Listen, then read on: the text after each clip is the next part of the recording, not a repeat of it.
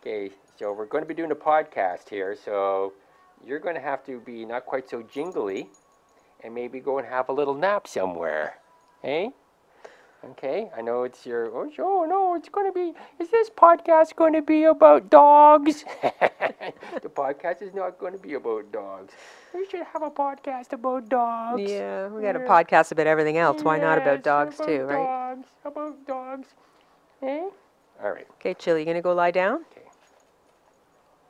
Okay, let's stop with all the licking. Because I don't know what you were licked last.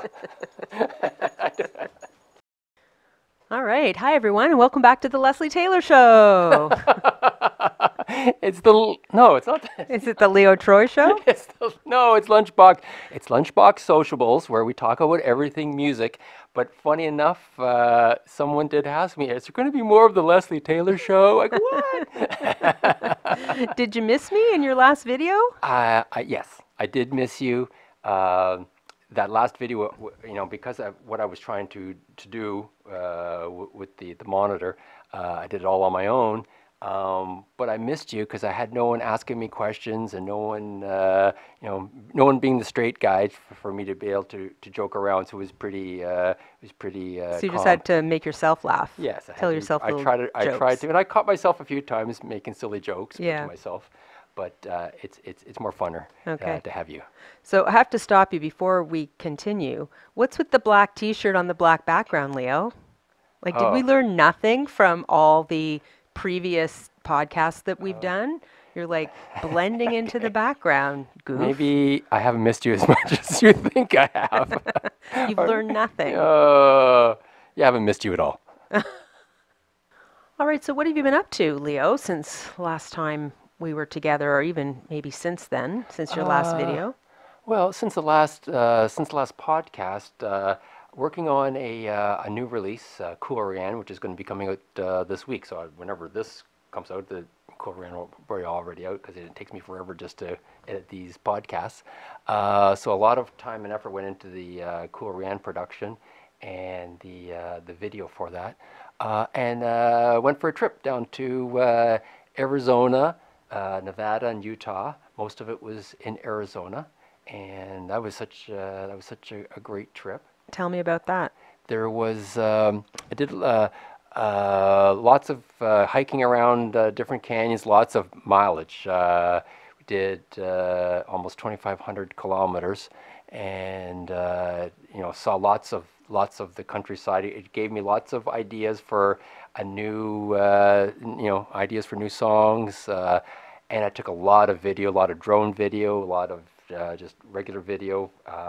So it's making me think about uh, uh, redoing, um, uh, re-editing a, video for uh, one of my one of the songs that is released, uh, "Drive Forever," and so I might update it. I might update all the the the, Ford Escape with all this Toyota 4Runner uh, into the into the video. Oh, the 4Runner, is that what you were driving when you were in, Oh, uh, it was, in it was great.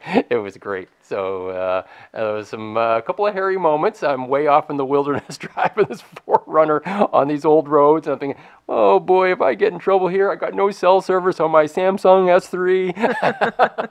I I'm all of by myself, and just uh, yeah. But uh, so I, I might uh, I might do that. But uh, it was uh, it was a good uh, it was a really good experience. Yeah. And you talked before about liking to have a lot of stock footage, like Yeah. stock video and things like that. Yeah. So you've got a lot of stuff. So I anticipate in the next probably 12 months, we'll be seeing this Arizona stuff come up a lot in your There- videos. There's well, there's I've got stock footage now going back several years. that It's got to get used up soon before you know it gets too stale. But so it could uh, be 10 years before we start seeing some of this Arizona yes, stuff. Is that what you're saying? It, it could be, but I, I really want to. I'd really like to use the Arizona stuff uh, uh, soon because there's just some there's some drone stuff that are just just so priceless, especially when you know the uh, the local sheriff, uh, the big white sheriff vehicle works its way into the one of the drone shots. Like, oh yeah, that's I got to use that. That's got to get used. So uh, I'm looking forward to that.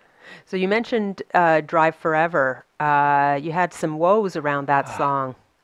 What uh, what's going on with that? Yeah, so uh, at some point uh, early in the new year, I was uh, just you know we you know because I have an aggregator. Aggravator. Yeah, and uh, they they meant you know, as a amateur musician, you upload all your songs to them. They distribute it to all the streaming services. There's like 150 different streaming services and stores they distribute it to. And uh, I noticed, although I was just going through one day, and I go, oh, hold on a second here, what's going on? Drive Forever had been pulled, and so I reached out to them. And this might be actually end up being a, a good tip for any other amateur uh, artists. Uh, uh, and they said, "Oh yeah, there's a copyright, uh, there's a copyright issue, and so we're, you know, we're pulling your song." And I go, "Oh, hold on." So over the next couple of weeks, it just went back and forth and back and forth, and they, you know, they weren't. Um, they were just saying, "Oh, you, you know, we have a." co-" They wouldn't tell me what the problem was. I said, "Well, I can't Is fix it the aggravator that was telling you this? Yes, Okay, and- so it wasn't like Apple Music or No, Spotify no, no, that was the- it was yeah, the aggravator. Okay. As I would find out, so um, so my tip here is uh, if if you find yourself in the same uh, situation, you got to keep after them and keep after them and, and don't let it uh, don't let it uh, you know go with them. They say, oh, okay, there's a copyright thing. Okay, I guess that song's uh, not going to and um, and and and actually, well, it wasn't until uh, I sent one more letter and I used the name of the uh, the, the president of the company, saying, you know, she was uh, she's on YouTube talking about how you support the little guy. Well, here I'm the little guy. You know, support me. You know, let's figure this out. And I sent them all the information, especially that particular song. I go, of all songs you want to say there's a copyright infringement, I got a copy of that from like the early 90s. so I wasn't the least bit worried that I had taken someone else's uh, uh, else's song. Uh, but that we should we should talk about the there's something in the news recently about I was going to ask you about Okay, that okay, about we'll Ed get to that. Sheeran. Okay, yeah. yeah, we'll get to that. Okay. Uh, uh, yeah, so uh, I supplied them, uh, you know, previous versions, uh, and I just kept with it. And eventually, they came back and said, "Yeah, we, we see that this uh, this this claim against your song is fraudulent." Did they tell you who had made the claim Uh, against your it, it- song? It, it was not. It wasn't a person's name. It was. It was like a production company Oh. of some sort. Um, but it, a- and then and then they just said it was fraudulent. So maybe there are, you know, there are scammers out there. Like there's scammers everywhere, right? And uh, so okay, this song's got a whole bunch of views because that was the song that you know it, it had ramped up a whole like thousands of views, uh, thousands of streams. I'm sorry, and all of a sudden that's the song that you know, now has a copyright uh, thing against it. But they they shown it was they they said it was fraudulent. Uh, but so don't give up if you have a have that problem because they they just want to like say oh no, uh, stick with it. Yeah. So the, the the Ed Sheeran thing that's in the news right now is about how he's being sued by Marvin Gaye's family, I Yeah, guess, or yeah, estate, yeah. whatever, for saying that uh, Ed Sheeran's song "Thinking Out Loud" is a copyright or a a, a rip off of "What's Going On" by Marvin Gaye. Yeah. What are your thoughts? Ah. And I mean, even it, this goes back So, to the Beatles, yes, they're not uh, the Beatles, George, but George, Harrison, and all with, of uh, that. Uh, My Sweet Lord, uh, sounding so much like uh, He's so fine. He's so fine. So I have a couple of thoughts then on that. Um, one is if you, if I like the person, uh, I'm kind of supporting him. So I quite like George Harrison. So like, yeah, yeah, he's good. Ed Sheeran, mm. so He's a very talented singer-songwriter. I totally ripped them off. Uh, uh, so a couple, you know, my thoughts. You know, there's only so many notes. There's, you know, uh, 12 notes when you had add in the sharps and the flats. So there's 12 notes. There's going to be times where things are going to get close or going to get similar. But what uh, kind of amazes me that both in both in these instances, the songs that they are alleged to have kind of ripped off a bit are really well-known songs wouldn't somebody in all that time during production say, "Hey, George, uh, this sounds a little bit like." Uh, Like the he- Shirelles, yeah. So, and same thing with Ed Sheeran. It's uh, I'm I'm kind of surprised that there what they wouldn't have known beforehand. Somebody would have said to them, "Hey," and then you know tinker with it a little bit. I, I, I find some of these these kind um, interesting because I go, how come? Um, what's that numbnut's name? Uh, vanilla, vanilla, Vanilla Ice? Vanilla Ice. When he totally ripped off Under Pressure. Oh, but that's yeah, that's different because they're sampling. So in that case, I think they either they get permission or they give credit on the And there- album. There, was uh, another guy. Um, that song Valerie by um, um, Elvis Costello. no no Oh. um, Uh, when you see Oh, that's chance, take it. Oh, Steve Uh, Winwood. Steve Winwood. Yeah. There's some guy just totally ripped off Valerie. I was listening to one day. I go, that sounds a lot like Valerie. And then I went and Googled it, and there's other people saying the same thing. I go, how come that guy didn't? But maybe it's like you were saying that they they sample a bit of it. But I go, wow, uh, it certainly does sound like it. But anyway, back to your. Uh, I don't know. I, I, I, I'm left with mixed feelings because, as a songwriter, um, I wouldn't want someone to be stealing my stuff. But as a songwriter, I'm also thinking, well, I wasn't, didn't steal, you know, that guy's, that, you know, I didn't, don't even know that song. So I'm kind of caught seeing both sides of it. I certainly wouldn't want my, my material copied, but, you know, I kind of think, well, I, you know, I might very well come up with something someday that someone says, well, that sounds a lot like so-and-so. And I go, oh, you're right, it does. Uh, so, So we're recording this on uh, May 2nd, uh, day after the news came out that legendary singer-songwriter, Canadian icon, poet uh, laureate. poet laureate um, Gordon Lightfoot passed away. Uh, what kind of influence did he have on you as a musician? Oh, ah, a, a huge influence. Uh, if you could read my mind, uh, always we had it on a on a list that was my favorite uh, song by a Canadian. Uh, a song that makes you know tears come to my eyes. His skill at, at the lyrics, both you know harmonies, music, uh, the lyrics, a huge influence. There was one song. Lunchbox Social even did, and I, and I always claim that I, I, don't do any cover songs, and uh, that's one of the very few. Is Which one? Carefree Highway. Okay. Oh, yeah. I keep thinking that's called Every Highway. that's what I've been singing to myself all these years. is Every every, every highway. Yeah, that's what it sounds like, yeah, doesn't it? It does. Yeah, I can hear. I can hear that. Yeah. Yeah. so it was. Uh, that was. It was sad. But you did uh, a different version of that song. Oh song. yeah, we, we we cranked we cranked the speed up to the point that most people didn't know what I could. It could sit when we would play. Some people go, "Oh wait a second, I recognize that song." Now that yeah, we did almost like a punk rock version of uh, of of the song, but it's such a fabulous uh, fabulous uh, songwriter. Yeah. Uh, he gets a, uh, or used to get a bad rap. His sort of nickname was Three Chord Gord. What are your thoughts on that? I I challenge that. I challenge that because I remember learning Carefree Highway and going, oh, there's like nine chords here. I'm going to have to try and remember, which is not easy for me. So, uh, yeah, no, I think he's. Uh, I think he, you know, writes uh, complicated songs. I wonder if because you know, uh, folk. Folk, uh, songwriters, country songwriters, they always get a you know that rap of but only having uh, you know three chords. Uh, but then again, so does Springsteen. So uh, if you're, you're in good company, if anyone wants to say, "Oh, Leo, you're right like uh, you're right like Lightfoot or you're right like Springsteen," I'll take that any day. So uh, no no problem with that. Yeah. Sometimes simpler is better. Yeah yeah. Yeah.